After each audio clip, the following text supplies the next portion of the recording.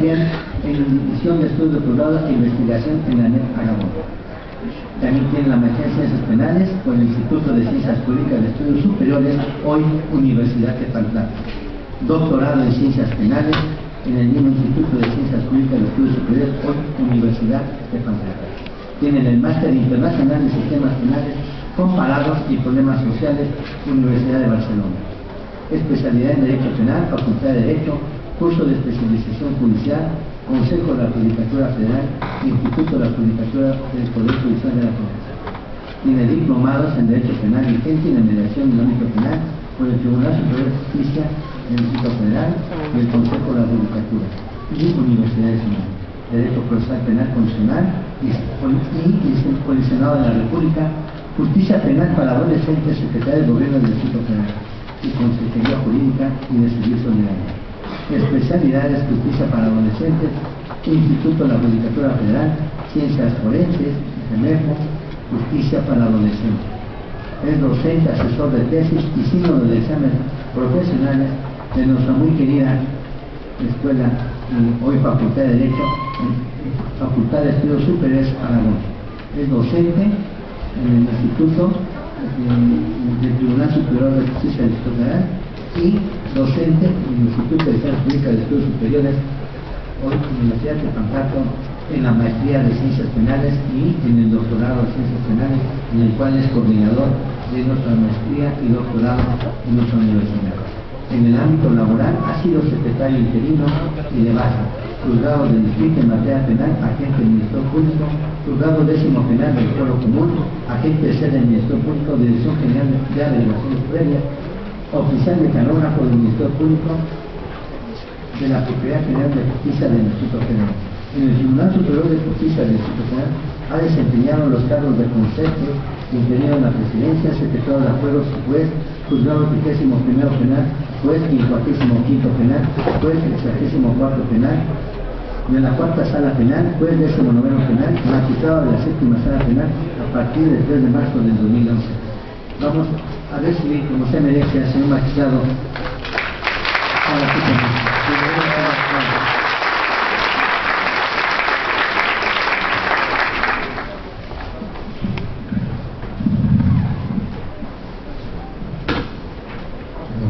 Buenos días, a todos. Eh, es un gusto, es un placer estar con ustedes en el Instituto ahora universidad, siempre me quedé con el instituto de Pantlato, el abogado, la persona que habla por eh, más todavía el privilegio de dar una plática aquí en nuestra querida Universidad Nacional Autónoma de México, donde es una obra arquitectónica eh, insuperable a nivel de América Latina, y ahora que estamos recorriendo las instalaciones, la verdad es una, maravilla lo que tenemos y tenemos eh, venimos de Aragón, somos egresados, exalumnos de Aragón. En una ocasión escuché un expositor que, dijo su número de cuenta, y creo que todos los que somos universitarios nos la sabemos, sabemos el número de cuentas de que ingresamos, creo que es el único que no se nos olvida. Se nos puede olvidar el número de cédula, lo, que ustedes quieran, matrícula, pero nuestro número de cuenta del UNAM no se nos olvida. Este, y en la cual participamos La verdad es que le debemos mucho a la universidad. Somos por la universidad y estamos aquí por ella. Es nuestra casa. Eh, además es el cerebro Sí, otros dicen que también el corazón las humanidades, pero es el cerebro de la nación, la universidad. Universidad Nacional Autónoma de México, y ese cerebro son todos ustedes. Todos ustedes son los que lo representan y, vamos a seguir defendiéndola como lo hace Enrique González Barrera. Siempre es un, reconocimiento y una admiración en ese aspecto. el, engrandecer, aun cuando no lo necesita la universidad, pero siempre lo engrandece y la verdad que más bien nosotros, al pertenecer a ella, somos nos da poquito de esa grandeza que tiene la universidad. Es un gusto y qué bueno que nos lo Gracias, Bien, este, vamos a dar inicio a la plática, a esta jornada, la novena jornada, onceava jornada, ya me parezco Sergio, ya Sergio, onceava jornada de actualización jurídica. Este, vamos a dar inicio a la plática. En concreto, el tema de nosotros, antecedentes y marco jurídico de la reforma cruzada. Vamos a dar, voy a dar inicio con un pasaje bíblico que este, va totalmente enlazado con el tema de los juicios orales. Pasaje bíblico que se encuentra en el libro primero de los Reyes, capítulo 3, versículos 16 al 28. Lo, se resume de la siguiente forma. Eh, Salomón, en ese entonces, eh, aparte de ser este, religioso realmente, pero en ese entonces hace el papel de juez, el papel de juez, en donde dos señoras le ponen a su consideración y que decidan sobre la disputa de la maternidad de un niño. Todos van a decir, ¿por qué? Si ustedes lo leen, ojalá la oportunidad. Resulta que el mismo día dos, dos eh, madres dan nacimiento eh, respectivamente cada quien a un niño varón y en la noche una de ellas al momento de dormirse eh, lo asfixia y se muere. Se despierta y se da cuenta que su hijo se muere y ¿qué creen que hace? Se lo cambia a la, a la otra, a la mamá, se lo cambia para quedarse con el hijo. Y, eh, y, se despierta la otra madre y se da cuenta que no es su hijo, el otro hijo, el que tiene la señora es su hijo. Y eso lo ponen en consideración precisamente la disputa de la maternidad del niño, que se le pone a disposición a, lo mejor. Y él, en una forma oral, definitivamente, es una forma oral, no hay formalidades en absoluto, ninguna formalidad, se lo pone su consideración por eso dice uno salomónicamente, no dice uno vamos a resolver en forma Y él resuelve y dice, bueno, vamos a hacerlo. Y resuelve, dice, bueno, para que no se peleen, la mitad y la mitad del niño vivo se lo van a llevar. La mitad, aquí viene, ¿eh? por eso es el, dicho de forma salomónica voy a resolver, le doy la mitad a uno y la mitad al otro. Sin embargo, la verdadera madre se da cuenta de esa resolución y ella prefiere declinar y dice no. Prefiero que se quede el niño con la, madre, eh, eh, vamos a decirlo, ausente, bueno, falsa, por decirlo así, para que mi hijo viva. Al darse cuenta de esto, Salomón revoca él mismo su resolución y, regresa el niño y se lo da a la verdadera madre. ¿Por qué hago este pasaje? Porque efectivamente hablamos del juicio oral. Fue en una forma oral. Fue como, como realmente lo queremos hacer o como realmente se quiere hacer. Va a ser una manifestación en donde el juzgador va a tener una, una intervención directa, va a escuchar totalmente. También es así en este caso que escuchó a la madre verdadera, al volver a escuchar, por el simple hecho de escucharlo, le regresa al niño y se lo da. Eh, ahora sí completo Esa es la forma que resuelve y así iniciamos con el juicio oral o la plática ese. Bien, antecedentes. Realmente, y quiero recalcar en el sentido, creo que ya lo hemos platicado mucho, se ha visto mucho, pero vamos a puntualizar lo siguiente. Realmente el juicio oral, así llamado, no como lo tenemos ahorita, eh, proceso acusatorio ya más técnicamente hablando, pero juicio oral siempre se ha manejado este, en la antigüedad Realmente nace en Grecia.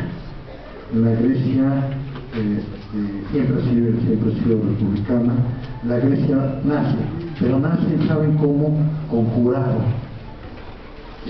Vamos a decirlo así, me atrevo a decirlo de esa forma, el, el juicio oral puro, estoy agregando la palabra puro, el juicio oral puro es con un jurado, señores. Es el jurado. Y es la forma que se va a resolver en ese sentido. Definitivamente con la conquista de Roma eh, hacia Grecia, todos lo sabemos, adquieren, asimilan este, todo lo jurídico, lo absorben de, los eh, de Grecia y tiene su etapa, eh, vamos a decir, excelente eh, en la Roma republicana. No estamos hablando ni en la monarquía, porque lógicamente no, eh, no, no lo va a adquirir la monarquía en un momento dado, ni tampoco el imperio. El imperio también fue muy, este, fue mucho declive, pero la Roma republicana es donde tiene la esencia del juicio oral y es jurado, definitivamente. Pasando de la Roma, Roma, pasamos al, derecho germánico por la cercanía, el dominio que tienen los pueblos bárbaros, el dominio que tiene sobre la decadencia que tiene Roma, ya la Roma imperial, con la invasión de los bárbaros, que definitivamente fue todo el norte de Europa, estamos hablando de los germanos, y con eh, la aparición del cristianismo, cuando decae totalmente la Roma imperial, pero los germanos también lo adquieren, lo asimilan y, lo atraen, y atraen el, juicio oral, juicio oral con curado, no hay que olvidarlo con el curado. Si seguimos con antecedentes por lógica, hablar de los germanos, eh, finalmente vamos a estar hablando, habla uno de Inglaterra, y poquito que conozcamos, le damos una visión. Eh, Inglaterra, lógicamente con Estados Unidos, y llega a Estados Unidos, atrae también su proceso, su proceso que ellos manejan, y, ellos continúan con el jurado. Realmente, esa es la esencia que tenemos en ese y así es algo que si, quiere, si quisiera puntualizar de hablar del juicio oral realmente conjurado. Bien.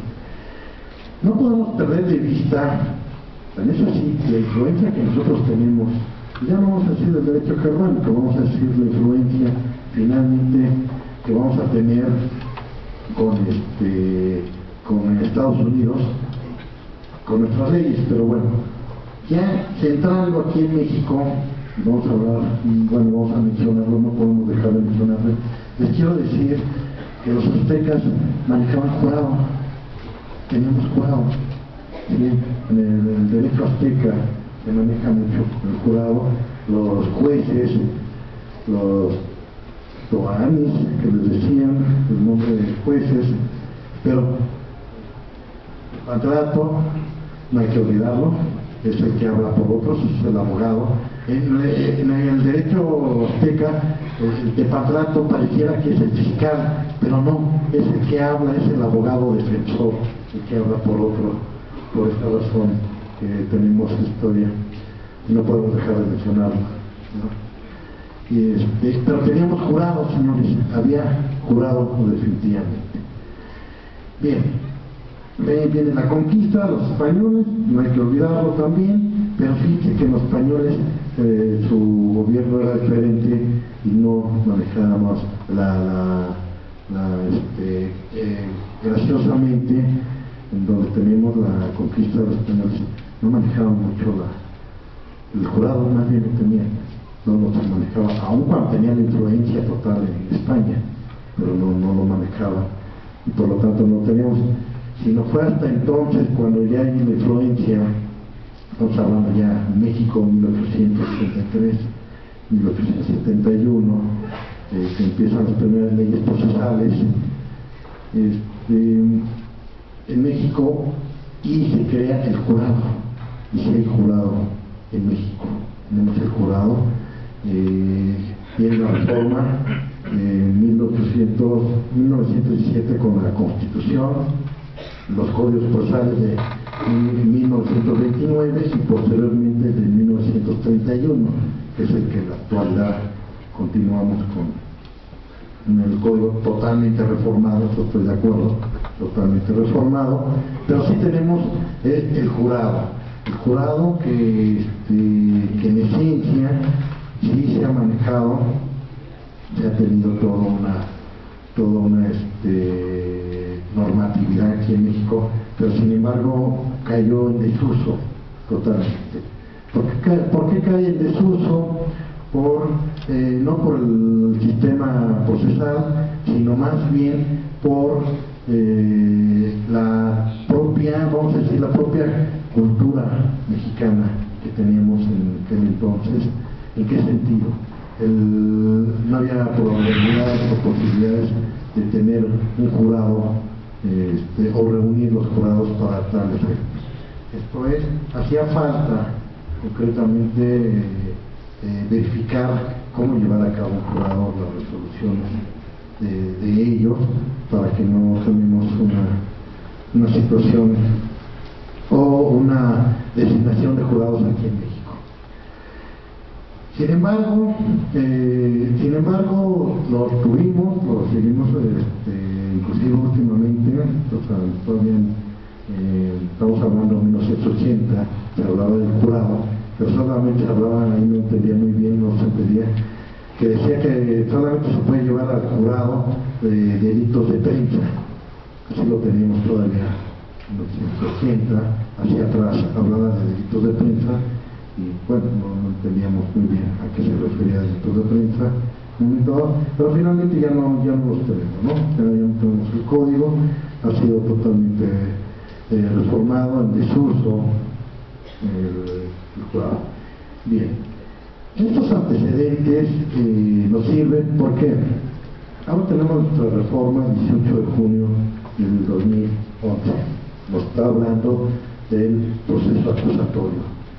Y dentro del proceso acusatorio de las diferentes etapas o de las tres etapas que lo conforman, eh, el tercero ya hablamos del juicio oral. Hasta entonces hablamos del juicio oral, eh, por esa razón hay quienes dicen que es el mal llamado este, proceso oral, sino es el proceso acusatorio, y la oralidad viene siendo la tercera etapa de este proceso acusatorio.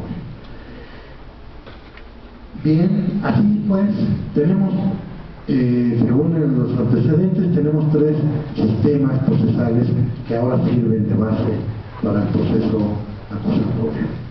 Primer sistema, como lo sabemos todos, eh, tenemos el sistema inquisitivo, definitivamente. Proceso inquisitivo que nace y surge en la Edad Media, cuando termina el imperio romano. El tercer imperio romano empieza a surgir eh, la Edad Media, la invasión de los germánicos, y lógicamente tiene una tendencia al cristianismo. El cristianismo tiene un papel eh, preponderante, ¿por qué? Sobre todo en la Edad Media, empieza a tener un control religioso, pero ese control religioso lo tuvieron que hacer a través de la Inquisición, como todos lo sabemos. Esa Inquisición que siglo, estamos hablando de tres siglos aproximadamente, eh, surge y lo tenemos como tal. Y cae en desuso, lógicamente, el proceso eh, oral eh, puro, que es el que venimos hablando de la Roma, de la Roma, de la Roma republicana. Finalmente, inquisición, lógicamente lo sabemos, unos excesos terribles, las confesiones, la tortura, el denunciante anónimo, los testigos anónimos, eh, todos ya lo sabemos, que pareciera que como que nos retumba un poquito ahorita los, las propuestas de las legislaciones actuales. Yo hago un pequeño comentario porque hablan de, de, en aquel entonces, pues, lógicamente también los jueces o los que de la Santa Inquisición, pues no sabían ni quién era el que dictaba la sentencia, ni quién era su denunciante, ni los testigos, y como que nos llama la atención algo por ahí, los jueces sin rostro, los, las denuncias y las denuncias anónimas, ¿no? los testigos protegidos, creo que por ahí nos está sonando algo parecido, ¿no? Pero bueno, esto solamente es un, es un comentario nada más. Eh, la Santa Inquisición, eh, atroz totalmente, y eh, finalmente en Francia con la ilustración surge para Montesquieu, eh, o Becaria que ha mencionado, con todas estas teorías eh, de política criminal, este periodo clásico que hasta la fecha usamos los términos, los principios para el derecho penal principalmente, y va a tener el detonante, como lo sabemos, la Revolución Francesa. La Revolución Francesa va a tener eh, el triunfo de la Ilustración, en donde cae totalmente la Inquisición. La Santa Inquisición es donde lo vamos a tener. Eh, si nos vamos un poquito aquí en México, el último, así se le ha reconocido, el último que fue procesado por la Santa Inquisición aquí en México, estamos hablando de, Morelos. José María Morelos y Pablo. ¿Qué es lo que utilizaba la iglesia? Por eso fue los excesos, ¿qué es lo que hacía la iglesia? el dominio de la mente, de las mentes, de la, de la sociedad desde el punto de vista religioso, pero a todo le metía, a quien hablara más de la iglesia, bien o mal o políticamente, le daban la palabra de que era un hereje, ¿no? Y le daban ya la, vamos a ser procesados este, eh, por la Santa Inquisición y es por esa razón que, tenían el dominio total de la Iglesia y el poder que finalmente todavía tiene la Iglesia en ese, sentido. Viene la, ilustración, la Revolución Francesa, con las ideas totalmente revolucionarias, las ideas de libertad, que sabemos, eh, y que también tiene su influencia en el derecho penal, no solamente en las ideas económica, social, sino también el derecho penal, como es precisamente donde surgen todas las teorías de política criminal, en donde vamos a dejar a un lado toda la inquisición, donde se le van a dar eh, ahora los principios que conocemos, principio de tipicidad, de culpabilidad, del acto, que hasta la fecha lo seguimos ocupando, y los tenemos en nuestro código penal, en la constitución, los principios que que manejan esos principios vienen, desde entonces. Bien. Continuando con la oralidad de, este sistema, eh, iniciamos con el acusatorio, bueno, oral, vamos a decirlo así, la Roma, la Roma republicana, posteriormente la Inquisición, con la, la Santa Sede, y en Francia viene el cambio. Y, lo que surge es que no se pueden despegar ni uno ni otro. Por esa razón, en la actualidad y hasta la fecha, se sigue manejando que tenemos un sistema mixto, mixto, acusatorio e inquisitivo. ¿Por qué razón? Inquisitivo con la figura, lo, maneja mucho con la figura del Ministerio Público.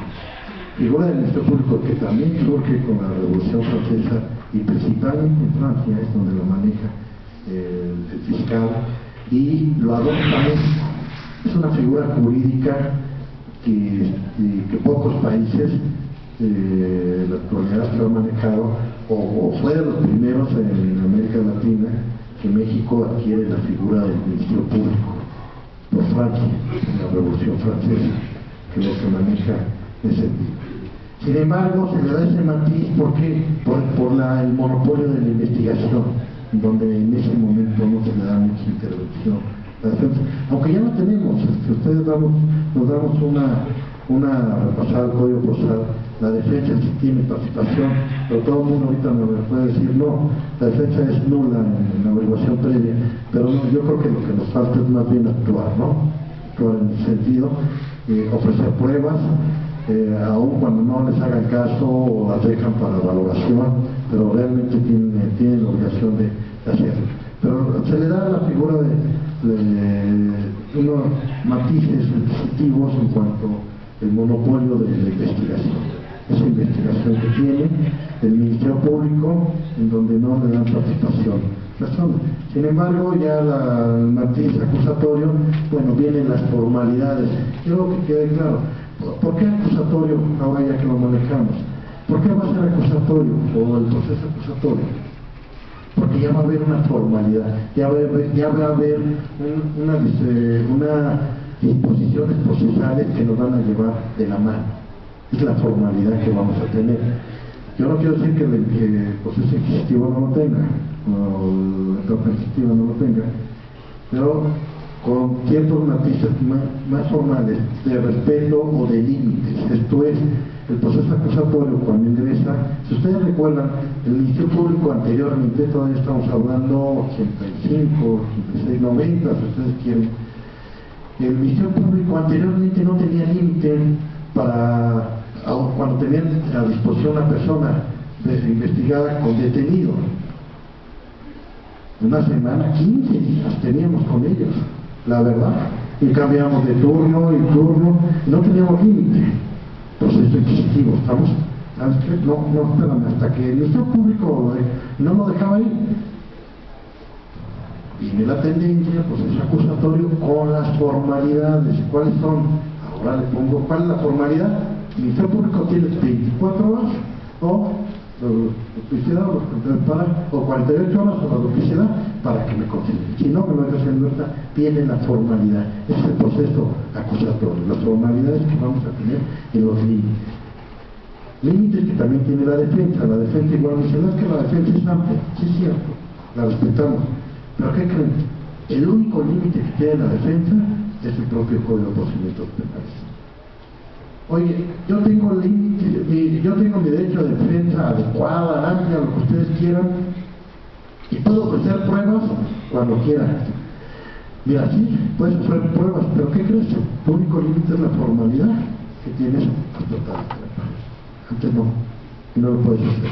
Para entonces renuncia a los términos, empieza, eso ya lo sabemos, renuncia al término eh, constitucional de un año para que yo dicte sentencia tu cliente, procesado, si lo renuncia, bueno, ya se amplía tu término, pero hasta entonces, antes no, hay formalidades, hay que respetarlas, por eso es el proceso en ese sentido.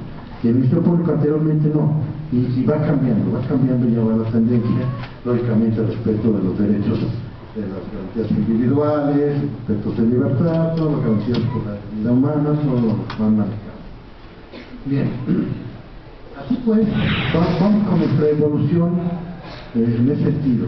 Eh, evolución, eh, quiero decirles que México, a nivel de Latinoamérica, este, creo que somos ya de los últimos que no tenemos el, proceso acusatorio. Esa es la verdad, si, me escapa otro en Centroamérica, por ejemplo Panamá, aún cuando me llama la atención por la tendencia que tiene muy fuerte de Estados Unidos, pero parece que todavía no lo maneja y México, bueno, pues lo estamos, lo estamos viendo, ya lo tenemos.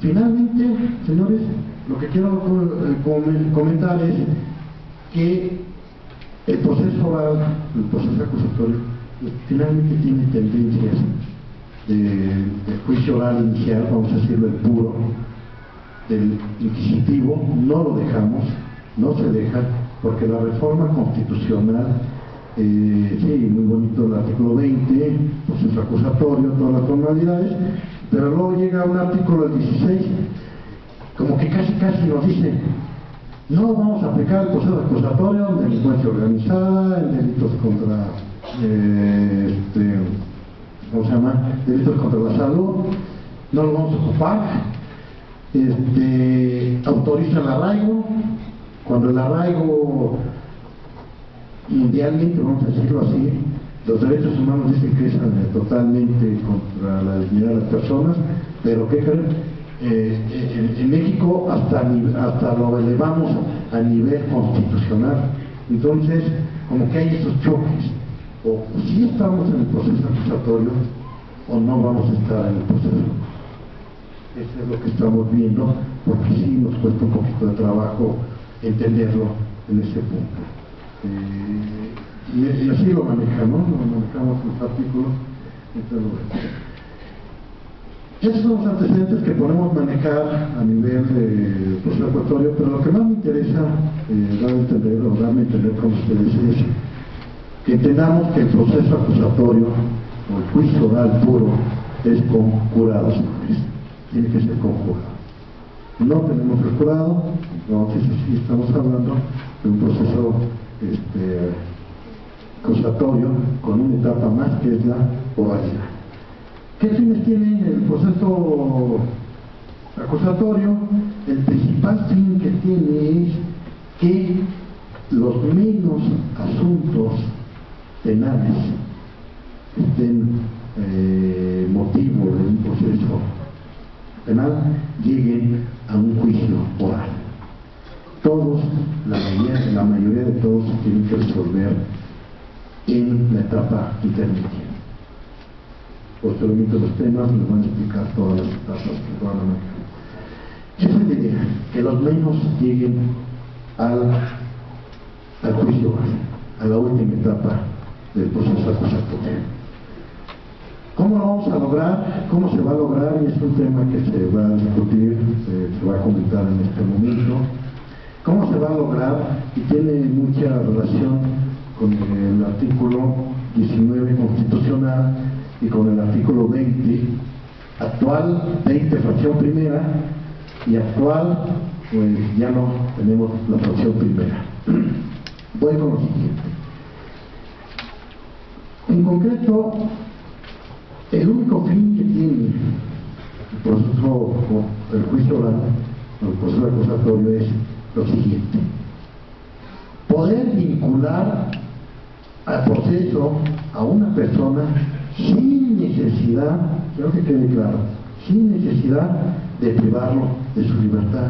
Ese es el fin que tiene el proceso acusatorio. Es algo que hemos dejado poquito al aire, o, mucho, quiero decir. Es el fin que tiene.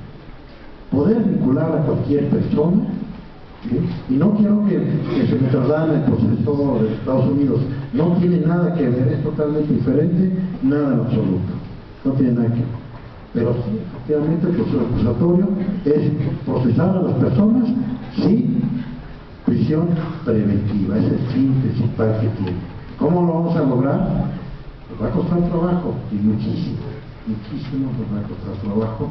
¿Por qué? Porque aquí es todo lo contrario en la actualidad. Eh, ¿Por qué todo lo contrario? Porque ya tenemos capítulo de delitos graves y si ustedes leemos delitos graves, ya no hay delitos de robo simple y todos son graves. ¿Vamos? ¿A qué voy?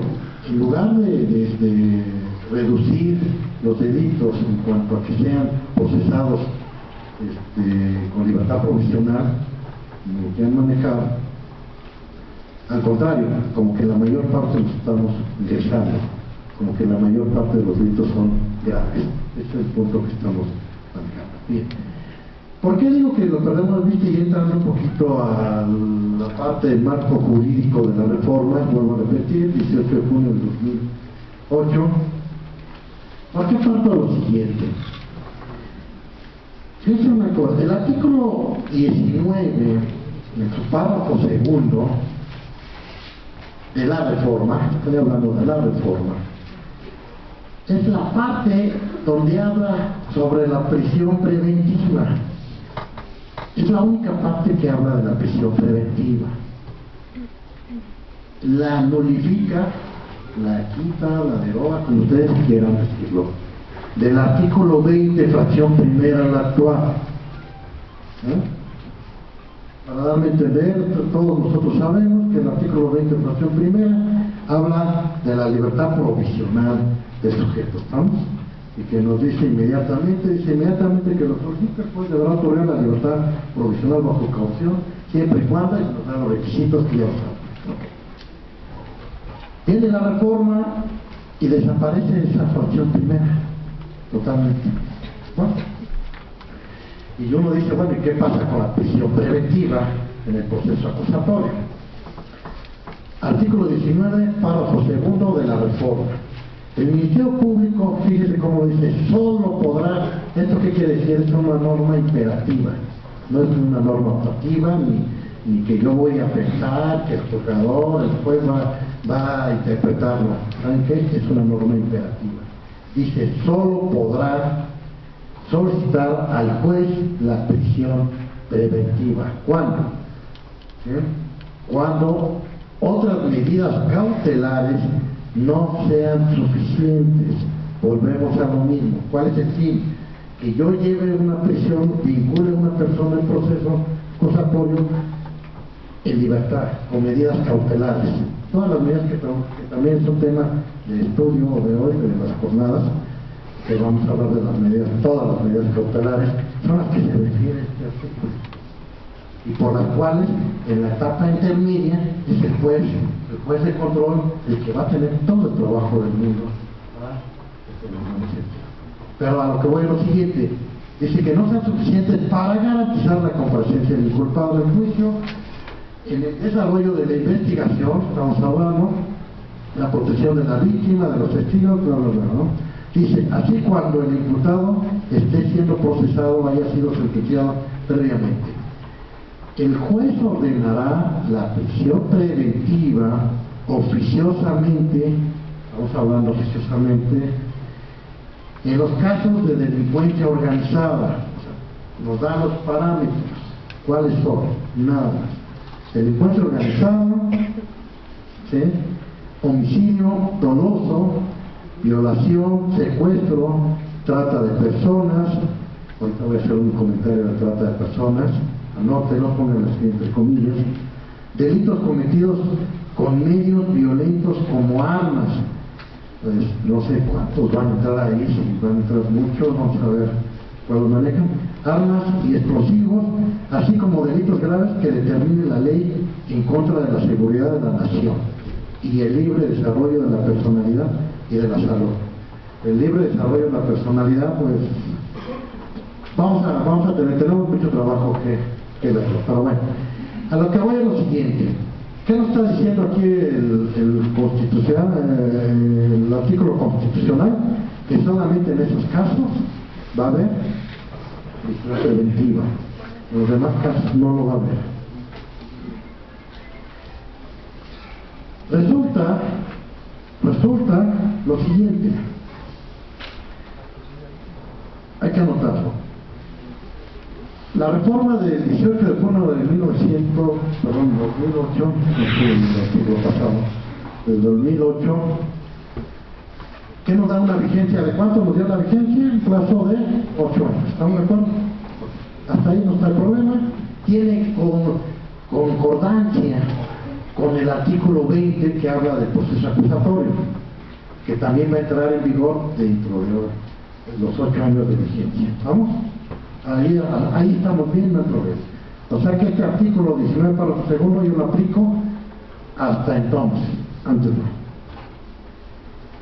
Pero resulta que el 14 de julio de este año, 2011, al legislador se le ocurre hacer una reforma solamente para incluir un delito más en los delitos de prisión preventiva, como es el delito, si ustedes observan la reforma antes del 11, 14 de julio, ustedes observan, todo está igualito, lo único que cambia es trata de personas, lo agrega. Lo demás es igualito, agrega un delito, ¿no? ¿A qué delito lo agrega? Pero resulta, señores, que su artículo transitorio de la reforma del 14 de julio de 2011, ¿qué creen que hace? Le da vigencia al día siguiente. O sea, el 15 de julio. Pregunto, ¿qué vamos a tener vigente? Que entre en vigor el párrafo segundo del artículo 19 hasta el 2016 o ya entró en vigor, señores. Te lo dejo, es una reflexión, vamos a analizarlo. Y, lo más grave, ¿saben cuál es la reflexión? Lo más grave, ¿saben qué? A lo mejor el delito que hayan metido ese otro 20, lo que ustedes quieran, no me preocupa. Me preocupa que este artículo es el único que habla de la prisión preventiva. Si ya no tengo el artículo 20, fracción primera, ¿cuál voy a aplicar? ¿Vamos? ¿Cuál es el que voy a aplicar? No sé, a lo mejor es para, reflexionarlo muy bien en ese sentido, verlo.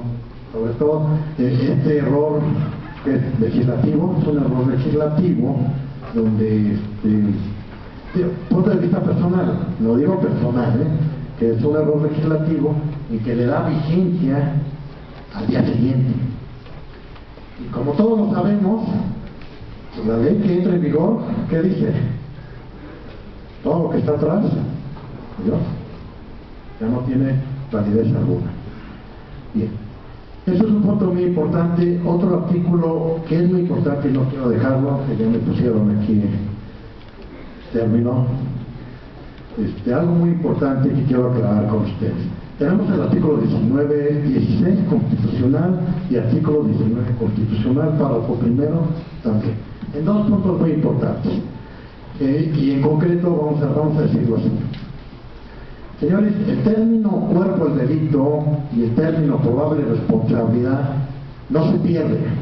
No quiere decir que la dogmática jurídica penal quedó afuera. No es cierto.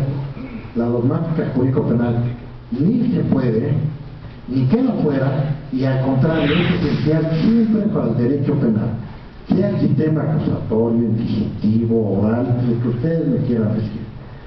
El hecho que el legislador haya cambiado los términos por, ¿cuál? Eh, ¿cuáles son los términos? Por un auto en donde el delito que se impute al acusado se ha cometido un hecho que la ley señale como delito. Señor, estamos hablando del cuerpo del delito. No, no hay que eh, no hay que digerir. Y luego dice, y que exista la probabilidad de que el iniciado lo cometió, es una probable participación, punto, no hay, no hay otra. La dogmática jurídica es única, no hay confusión alguna. No es cierto que si el cuerpo del delito es diferente del tipo penal o que son iguales, señores, no, no tienen nada que ver uno con el otro. La dogmática jurídico-penal habla de los elementos de tipo penal. Si ustedes, al momento que estudien la maestría, al momento que, cualquier especialidad, todo el tiempo Belin habló de los elementos de tipo penal, nunca habló del cuerpo del delito, jamás se habló del cuerpo del delito dogmáticamente hablando. ¿Qué es el cuerpo del delito? Es un término procesal, es un término procesal que le sirve como fundamento legal para acreditar los elementos de tipo penal. ¿Hecho? Es la diferencia. Si el término cuerpo del delito viene en el código procesal, ¿qué es el código procesal? Es el instrumento que me va a servir, el instrumento que me va a servir para qué? Para acreditar, para, aplicar el código penal. En ese, vuelvo a repetir, el cuerpo del delito es el término procesal, el instrumento procesal que me va a servir de base jurídica para acreditar los elementos de tipo ¿Por qué lo aclaro? Porque he leído, he leído, he escuchado conferencias en donde manejan que ahora los términos han cambiado mucho, ahora que entró la, la ley de adolescentes, de justicia para adolescentes, también cambió el término de un hecho señalado como delito, y, hablan de la prueba, y, hay quien se han atrevido diciendo que, desaparece el cuerpo del delito, que desaparece la probable responsabilidad. No, señores, no desaparece, al contrario, la dogmática jurídica es la misma, eh, sigue vigente y seguimos juntando. En otras palabras, vamos a cambiar, eh, como dice, que la ley señale que se ha cometido un hecho que la ley señale como delito, cambio, es cuerpo de delito. Así de sencillo. Seguimos con la misma dogmática jurídica en ese punto. Lo que sí es importante saber y entender, y si quiero aclararlo con ustedes, es lo siguiente. No es lo mismo probable responsabilidad, y eso lo saben ustedes, no es lo mismo probable responsabilidad que plena responsabilidad que se dicte sentencia. Es un término muy sencillo y además ustedes me van a decir, eso ya lo sabemos, eso lo tenemos bien conocido y lo tenemos, sí. El problema es en el auto de plazo constitucional y en la orden de aprehensión. Se los dejo para reflexión, ¿por qué razón? La diferencia foral que hay en el proceso, eh, vamos a déjenme marcarlo de otra forma, la diferencia que hay eh, totalmente en el sistema, en el sistema finalista, con el sistema eh, clásico que tenemos del causalismo, es precisamente, ustedes ya lo saben, lo tienen bien conocido, que el término de dolo, culpa y forma de participación en el finalismo se estudia a nivel de, tipicidad, ¿está claro? Ustedes lo saben muy bien que se estudia a nivel de tipicidad. Y si es causalismo, el dolo, culpa y forma de participación se estudia a nivel de culpabilidad. Bien. ¿Por qué hago esta aclaración? ¿Y por qué es importante? Porque a nivel de auto de plazo constitucional y orden de aprehensión, siempre vamos a hablar de probable responsabilidad. ¿Hecho? Y eso así están todos los códigos. Todos los códigos, sí, no ha cambiado. ¿Qué es lo que vamos a hacer? ¿O qué es lo que resulta? Que si estamos hablando del sistema causalismo, doble culpa y forma de participación, como se estudia a nivel de culpabilidad, se va a estudiar de forma probable. ¿Está claro? probabilidad, porque así lo maneja la ley procesal. Pero si aplicamos el finalismo, como lo tuvimos vigente en 1994 a 1999, si aplicamos el finalismo y aplicamos los elementos de tipo penal, como lo manejó el 122 igual, pero el doble culpa y forma de participación lo trasladamos a nivel de tipicidad, porque así viene en el, en el finalismo, ¿qué creen?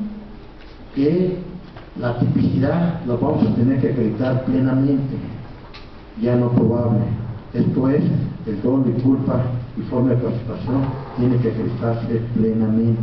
¿Por qué? Porque está a nivel de tipicidad. Por el simple hecho de leer el código, termino dos segundos, el simple hecho de leer el código 122, lo, saben ustedes, pero nada más lo puntualizo, dice el cuerpo del delito se tendrá por comprobado, ¿ok? Y el siguiente párrafo dice, para resolver sobre la probable responsabilidad, ahí está el cambio. Tanto finalismo como causalismo, este artículo no cambia, ¿eh?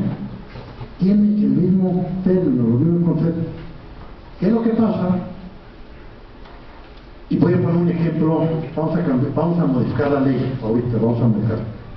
¿Verdad que el 122 no dice el juez acreditará probablemente el cuerpo del delito y probable la responsabilidad. No lo dice así.